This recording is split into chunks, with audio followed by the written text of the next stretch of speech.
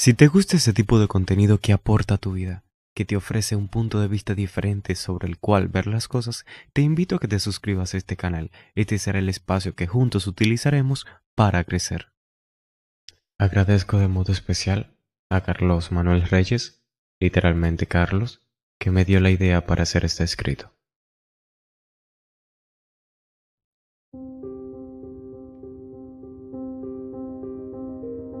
Sinceros.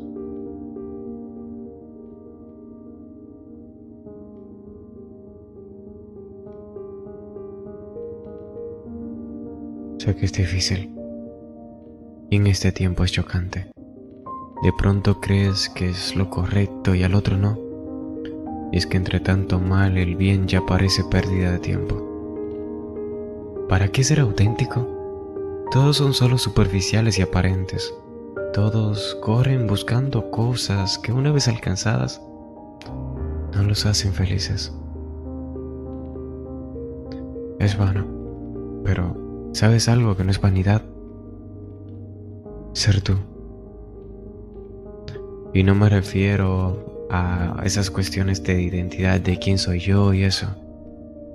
Me refiero a ser tú. A ser sincero contigo, demostrar eso que eres, sacar eso que llevas dentro. Piensa que el mundo puede que se esté perdiendo de eso grandioso que eres.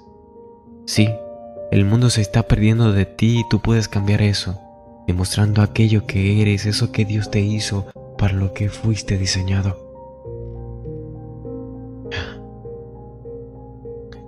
A veces escucho personas que se sienten mal porque han sido defraudados. Los demás los traicionan, dicen que sus amigos no son reales, se quejan de su trabajo, se quejan de su familia, de su pareja y un montón de quejas que no los llevan a ninguna solución. Pero... Ah, te preguntaré una cosa.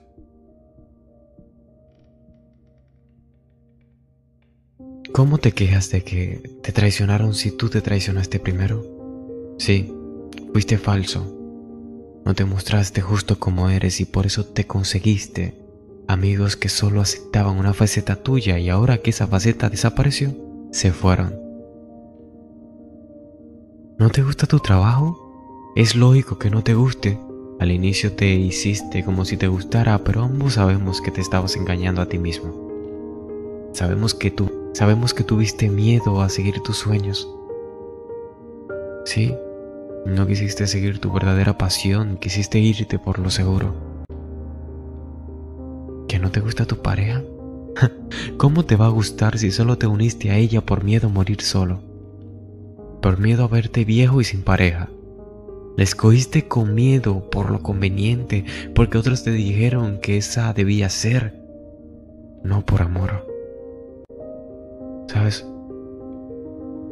Si fueras sincero y aceptaras que eres una mierda para ciertas cosas y que eres un dios para otras, sería todo más sencillo si te destinaras a fortalecer eso que ya tienes en vez de luchar contra la naturaleza con la cual naciste, sería mejor, sería más simple y más grato.